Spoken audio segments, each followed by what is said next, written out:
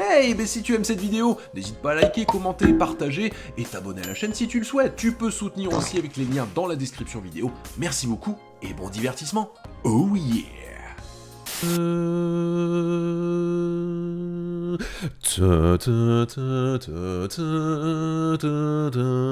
Pouet, pouet, pouet, pouet, pouet, pouet, pouet, pouet, pouet, pouet, pouet, pouet, pouet, pouet, pouet, pouet, pouet, pouet, pouet, pouet. Ce thème, vous le connaissez. Bon, je le fais très mal, mais c'est pas la question. Ce thème, vous le connaissez, ces musiques, vous allez les connaître, vous allez les reconnaître et vous allez les réapprécier comme Jaja dans ce jeu de rythme avec plein de musique de Final Fantasy et plein de choses qui sentent bon l'amour, qui sentent bon le prestige, qui sentent bon le plaisir, bref, qui sentent bon le jeu vidéo comme à l'époque. Et oui, c'est ça qui fait plaisir. Et je vous dis bonjour tout le monde. Bienvenue donc pour cette nouvelle vidéo, c'est Bibi300. On se retrouve donc aujourd'hui pour parler ensemble et que pour que je puisse surtout vous donner mon avis sur Fat Rhythm Final Ball Line. Oh yeah.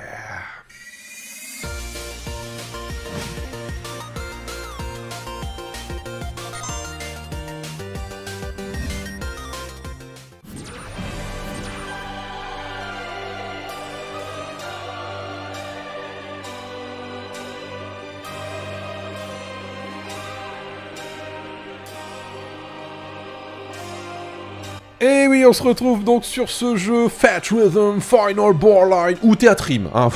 s'appelez ça comme vous voulez, ou le jeu de rythme avec les jeux de Final Fantasy dedans. si vous voulez pas vous embêter avec le titre, encore un nom à coucher dehors, c'est incroyable. Mais voilà, ce fameux jeu de rythme de Square Enix qui arrive donc le 16 février 2023 sur PS4 ainsi que sur Nintendo Switch. Il y a déjà une démo de disponible, vous pouvez l'essayer, sachant que la sauvegarde que vous faites sur cette démo pourra être transférée sur la version complète jeu PS4 compatible PS5 évidemment, puisque c'est ce que j'ai euh, fait notamment avec ma version complète. Version complète d'ailleurs euh, qui m'a été envoyée par Square Enix. Merci à eux. Ça va me permettre de pouvoir vous en parler plus efficacement, plus sereinement, parce que ça fait un moment déjà qu'on l'a. Et surtout vous donner mon avis sur ce jeu qui est, on va pas se mentir, autant le dire tout de suite, qui est excellent. Voilà, c'est excellent. Parce que c'est le jeu du cœur, parce que c'est le jeu de l'amour, parce que c'est le jeu du prestige, parce que c'est le jeu du plaisir, parce que c'est le jeu du scoring, bien sûr, mais surtout parce que ce qu'on avait déjà connu auparavant, avec notamment les épisodes 3DS, bah on retrouve ici ce même sentiment, ce même petit truc qui, voilà, qui te fait titiller, hein, les petits poils du fion, où tu te dis, oh, oh ça fait tellement plaisir. Et c'est ça en fait aussi le jeu, parce que ça remémore énormément de souvenirs. Et je vous assure, hein, quand j'ai joué à ce jeu, j'ai parcouru les musiques, et forcément, ça m'a rappelé des souvenirs, notamment Final Fantasy VIII, que je considère comme étant l'un des plus grands Final Fantasy de toute l'histoire. Je sais, tout le monde ne sera pas d'accord, mais FF8 est tellement incroyable. Toutes les musiques d'FF8, je les ai fredonnées. Toutes les musiques d'FF8, il n'y a pas un moment donné où j'avais une note de travers. C'est un truc de fou. Après, bien sûr, FF9, FF10, FF6, FF... Voilà, vous, avez, vous connaissez un petit peu le, bazar. FF12, bien sûr, hein, l'un des plus grands Final Fantasy 3D de l'histoire de Final Fantasy, hein, celui qui, en tout cas, a dépoussiéré complètement le gameplay de Final Fantasy, et certainement l'un des meilleurs, bien entendu, euh, etc. Mais il n'y a pas que ça, il n'y a pas que Final Fantasy dans l'histoire, il y a aussi derrière des jeux Square Enix qui sont présents dans euh, cette édition euh, donc de Final Bar Line, Nier pour ne citer que lui, et d'autres. Vous les découvrirez bien sûr tout cela en temps voulu, mais ce qui est sûr, c'est que oui, ce jeu, c'est un plaisir, un vrai plaisir brut, c'est un diamant que tu as dans ta main que tu reluques comme ça, tu te dis, punaise, qu'est-ce que c'est beau. Eh ben, c'est la même chose. Un diamant qui coûte cher aussi. Parce que le jeu, faut le savoir, le jeu, il a plusieurs éditions. Une édition de luxe, une édition premium, avec notamment des titres qui sont disponibles dans l'édition premium qui ne sont pas dans l'édition de base, notamment des titres chantés pour la plupart, mais aussi par exemple Tuzan Arcand de Final Fantasy X qui est dans la premium et pas dans l'édition de base. Pourquoi Franchement, pourquoi Je me pose encore la question, je me dis pourquoi avoir fait ce choix? Bah, c'est comme ça, voilà, c'est ça fait partie en fait du modèle économique voulu par ce genre de jeu, qu'on retrouvait notamment sur des jeux comme Taiko no Tatsujin, pour ne citer que lui, ou pour des jeux de type Samba de Amigo, bref, des jeux de rythme qui déjà utilisaient un modèle économique un petit peu petit peu pernicieux. Hein. Un petit peu pernicieux, un petit peu... Ah, tu veux le titre? Allez hop, à, à boule la CB, c'est parti, merci, au revoir. Et de toute façon, je pense qu'à mon avis, c'est un jeu qui va être suivi pendant un petit moment, puisqu'il y, a encore des choses à, euh, mettre en place. Et pourquoi pas faire intervenir les musiques de Final Fantasy XVI quand le jeu sera disponible à l'intérieur de celui-ci. Ce ne serait pas surprenant en tout cas. On va aller vite dans ce test, même si on a déjà perdu au moins 3 minutes à expliquer ce que c'était, parce que vous allez le voir, c'est peu ou prou la même chose que ce que vous avez connu auparavant. Vous allez donc retrouver un peu le même schéma que dans la démo, c'est-à-dire qu'au début, vous allez choisir donc un titre, donc n'importe lequel, vous allez faire le jeu, et enfin, vous allez faire donc les différents titres de celui du Final Fantasy que vous avez choisi, vous allez débloquer une clé, et cette clé vous permettra de débloquer d'autres Final Fantasy. Mais pas que, il faut en fait terminer un titre complet, pour pouvoir, en tout cas en gros arriver à la fin du titre, parce que vous allez avoir plusieurs musiques et parfois à un moment donné vous avez un, un embranchement et parfois deux voire trois euh, combats à faire, mais il faut terminer la ligne. Dès que vous terminez la ligne, ça veut dire que vous avez réussi le titre, et là ça débloque tous les Final Fantasy et jeux Square Enix qui sont présents dans la liste, pour pouvoir ensuite avec les clés les débloquer un par un, et ainsi donc continuer à débloquer les musiques. Des musiques que vous allez pouvoir donc faire de différentes manières puisque vous avez donc en mode de difficulté, alors je crois que de mémoire c'est basique expert, euh, difficile extrême, un truc dans le genre là, oh je ne sais plus, oh là là j'ai déjà oublié, enfin bref, vous avez en plusieurs niveaux de difficulté. Euh, moi, je vous conseille de commencer par le commencement, c'est-à-dire au départ, pour voir un petit peu comment fonctionne justement le jeu, et ensuite passer en expert. Honnêtement, pourtant, je suis pas non plus euh, hyper calé, je suis pas non plus euh, hyper bon au jeu de rythme, mais je peux vous assurer que quand vous êtes en expert, franchement, la plupart des titres fonctionnent très bien. Surtout qu'en plus, au fur et à mesure de votre avancée dans le jeu, vous allez débloquer donc les différents Final Fantasy, mais aussi les différents personnages de l'univers de Final Fantasy. Si vous réussissez d'ailleurs le titre en question, vous allez en débloquer d'autres qui vont se rajouter. Par exemple, Final Fantasy VIII, j'avais débloqué Squall, j'avais débloqué Cypher, j'avais débloqué... Euh, comment il s'appelle? C'est... Euh, ah, je sais plus. Euh, Linoa et un autre. Et ensuite, quand j'ai terminé donc le titre, eh bien j'ai débloqué Ultimecia et EDA. Donc on en débloque à chaque fois. Je crois qu'il y en a une centaine comme ça à débloquer au total, ce qui fait quand même beaucoup beaucoup de personnages. Surtout que ces personnages sont importants puisque selon les personnages que vous allez mettre dans votre équipe, donc votre escouade de 4 forcément, eh bien vous allez avoir soit plus d'attaque, plus de défense, plus de puissance magique, ce genre de choses. Donc essayez de faire une équipe équilibrée et surtout plusieurs équipes en fonction des boss que vous allez avoir lorsque vous allez faire les musiques. Tout simplement parce que certains sont résistants à la foudre, à la glace, au feu, sont plus faibles avec certains éléments, et en fonction de ce que vous avez, bah, façonnez votre équipe. Moi, j'ai fait une équipe de gros bourrins, presque, puisque j'ai mis Squall, j'ai mis euh, Zephyros, j'ai mis Cypher en défense, je crois, et puis en magie, j'ai mis Bibi, Bien sûr, évidemment, ça, ça tombait sous le sens. Euh, donc à vous de voir, modeler un peu comme, euh, comme vous le sentez, comme vous le voulez.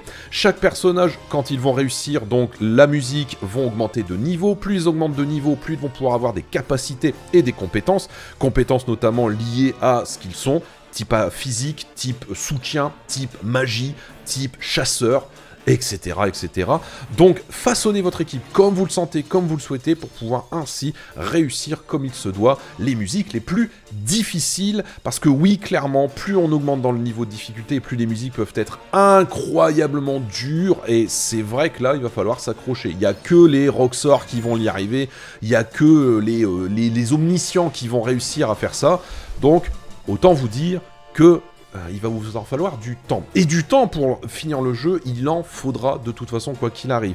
C'est des dizaines et des dizaines et des dizaines et des dizaines d'heures pour terminer tout à 100%, parce qu'en plus derrière tout ça, vous allez donc récupérer... donc des, euh, des, cartes, des cartes bonus qui vont euh, être affichées dans un musée, donc évidemment plein de clins d'œil à des Final Fantasy avec notamment des portraits, avec notamment des fonds d'écran qu'on voyait à l'époque qui servaient d'images promotionnelles j'en passe et des meilleurs. Vous allez pouvoir notamment euh, vous échanger avec les gens des profils cartes, donc c'est-à-dire en fait votre carte de profil qui vous permet de savoir, bah voilà, vous avez fait autant de tubes, enfin autant de titres, machin, vous avez joué autant de temps, ce genre de choses, etc., euh, etc. Vous allez pouvoir jouer notamment à 2 si vous le souhaitez, ou à 4 en version multi. Enfin, c'est un jeu qui est rempli, rempli, rempli de contenu à ne plus savoir qu'en faire. Et puis surtout, encore une fois, La particularité d'un jeu comme ça, c'est un jeu de scoring, donc ça veut dire que vous allez revenir tout le temps, tout le temps, tout le temps pour vous améliorer.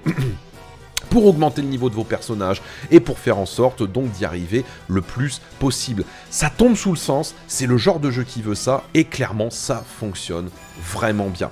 Vous aurez la possibilité donc de régler la vitesse notamment euh, de... Euh, comment dire Pas la vitesse, mais euh, la, la, particularité donc de rythme que vous allez avoir si par exemple vous avez des télés spécifiques ou si vous jouez sur un écran de PC avec la latence. Donc tout ça vous pouvez le régler dans les options. N'hésitez pas à y aller pour pouvoir régler notamment la latence au niveau du rythme pour faire en sorte que quand vous allez appuyer sur le bouton ça soit vraiment au bon rythme de la musique et pas que ce soit décalé d'une seconde ou deux. Et je peux vous assurer qu'un décalage d'une seconde c'est une c'est une catastrophe, franchement. Donc n'hésitez pas à aller dans les options pour vérifier tout ça. Et ensuite, après, on retrouve finalement peu ou prou la même mécanique que l'on connaissait auparavant. Vous allez avoir donc des touches qui vont défiler de gauche à droite, avec notamment donc différents types de terrains. Soit les terrains classiques où on va avoir nos personnages qui vont combattre euh, donc sur des terrains fixes, soit des terrains euh, où vous allez avancer au fur et à mesure donc de votre avancée. C'est ce qu'ils appellent, je crois, les euh, les field battle ce genre de choses, bref ce genre de choses.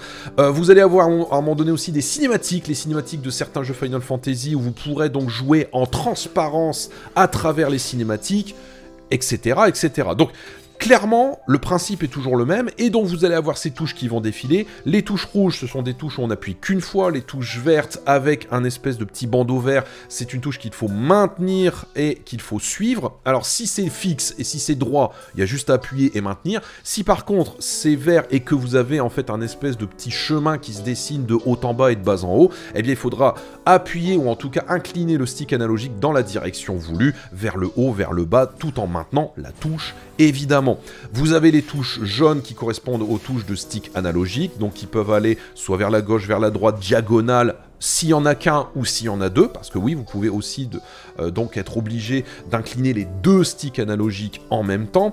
Vous avez également les touches euh, qui sont euh, les touches à arc-en-ciel, donc ça, ça va permettre de faire beaucoup plus de dégâts selon évidemment le personnage, puisque chaque touche à un endroit spécifique correspond à un personnage sur le champ de bataille, et les touches arc-en-ciel vous permettent notamment de claquer très souvent une attaque assez forte, assez puissante plus vous jouez bien, plus vous allez pouvoir notamment augmenter une jauge qui vous permettra donc de faire invoquer euh, une euh, J-Force, une invocation, bref, ce, genre de choses, un espère comme on dit. Et euh, là, vous allez pouvoir également en débloquer plein. Chaque espère aura, la possibilité notamment d'avoir des capacités spécifiques en fonction de euh, ce que vous récupérez. Il y a une petite part d'aléatoire à ce niveau-là, donc c'est plutôt cool parce que ça donne envie finalement à chaque fois de refaire certains titres en question. Euh, vous aurez aussi la possibilité, et là il faut faire attention, c'est notamment de bien faire gaffe à tout ce qui arrive en fait sur la gauche en essayant d'avoir un point fixe sur l'écran pour éviter donc de se faire avoir. Mais attention, Parfois le rythme est assez rapide et assez dynamique, donc du coup il faut agir très très vite. La question va évidemment se poser sur l'accomplissement de tout ça. Est-ce qu'on s'amuse quand même, même si on est en basique? Oui, si vous êtes en basique, si vous êtes au niveau de difficulté premier, bien sûr qu'on s'amuse quand même. Parce qu'en plus de s'amuser avec le principe du jeu de rythme, bah, vous vous amusez aussi parce que vous, vous écoutez les musiques de l'époque. Et moi je vous dis, moi j'ai eu des frissons comme pas possible parce que je me suis remémoré les souvenirs incroyable que j'avais de l'époque, quand j'ai découvert FF7, quand j'ai découvert FF8, quand j'ai rejoué à FF6 parce que je l'avais commencé, je l'avais pas terminé.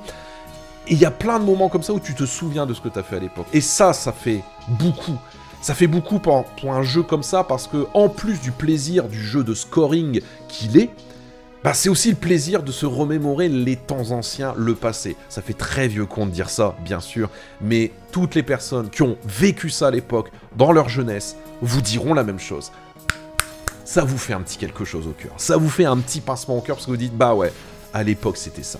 À l'époque j'ai joué à ça. Et je me souviens de tout ce qui s'est passé autour. Ça, ça joue énormément. La nostalgie joue énormément dans ce genre de jeu. Et c'est le cas donc dans ce euh, titre de Square Enix. Euh, que vous dire d'autre également? Eh bien, Euh, faites attention aussi donc aux différentes options que vous allez pouvoir mettre parce que parfois vous pouvez vous rajouter des difficultés dans les options pour que ce soit un petit peu plus rapide ou qu'il y ait des choses un peu plus cachées pour vous demander et pour faire en sorte donc de vous octroyer un peu plus de challenge qui en a déjà beaucoup déjà à la base hein, donc on, va pas, va pas, se mentir faites attention quand même par rapport à tout ça et puis puis voilà, c'est tout, c'est tout ce qu'il y a à dire. Il n'y a pas grand chose d'autre à dire. C'est le jeu, il est comme ça, le jeu est façonné comme ça. Et ensuite, bah, vous y allez. Vous y allez tranquillement, mais sereinement.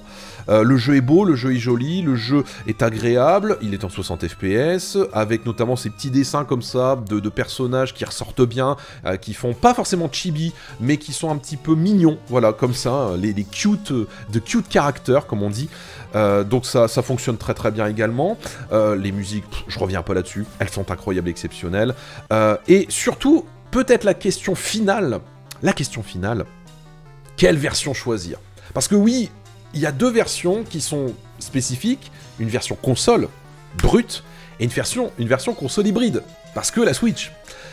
Moi j'ai pris la version PS5, pourquoi? Parce que en essayant les démos des deux, je me suis vite rendu compte qu'avec la Switch, alors la Switch c'est très bien, hein, donc euh, c'est très très bien, mais je me suis dit, quand il faut utiliser les deux sticks ici, bah, ma main elle est obligée de glisser.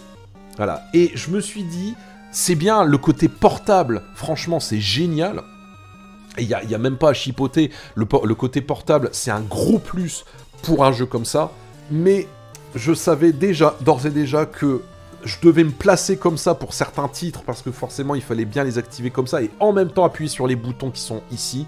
Je savais pertinemment que ça allait plus me saouler qu'autre chose. Oui, j'aurais pu jouer bien sûr avec la manette pro, mais quand on est en mode portable, on aime bien avoir la, console comme ça. Donc c'est aussi pour ça que j'ai choisi, par rapport notamment au placement de la manette et du fait que la manette je l'ai bien en main et ça me permet peut-être d'avoir euh, une réponse plus efficace dans ma manière de jouer.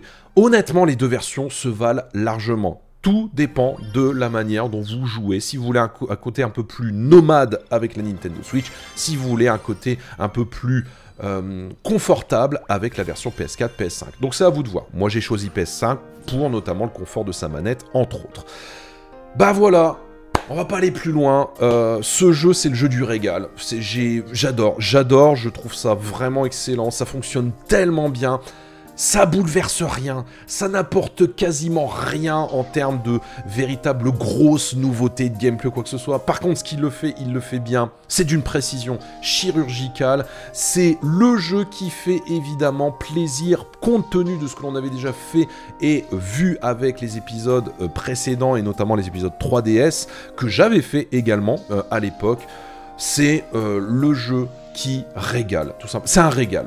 Voilà, c'est un régal absolu. Je vous le conseille vivement si vous aimez les jeux de rythme. Oui, le jeu parfois il peut être un petit peu frustrant de par sa difficulté. Oui, le jeu est également très très très frustrant parce que la digital de luxe, la premium vous bloque certaines musiques que vous auriez aimé avoir et donc vous incite à passer à la caisse. Oui, c'est pas normal. On est tous d'accord là-dessus. Mais déjà dans sa version basique, vous avez largement de quoi faire. Et le plaisir, il est là. La nostalgie, elle est là. Et l'amour des musiques est présente, tout simplement. Et notamment des musiques de Final Fantasy, mais aussi des musiques de Square Enix, puisque je vous le rappelle, il y a aussi d'autres musiques qui font partie donc de tout cela. Voilà, merci beaucoup, des bisous, à très bientôt pour de prochaines aventures, portez-vous bien, paix, sérénité, force et robustesse, et vive les jeux vidéo, salut tout le monde, et à la prochaine Chao, chao.